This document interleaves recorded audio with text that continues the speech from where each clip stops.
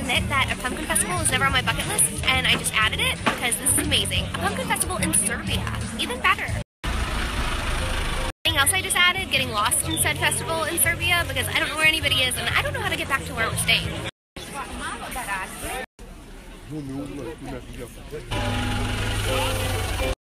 Saw a big pumpkin. I guess that's what pumpkin festival's for.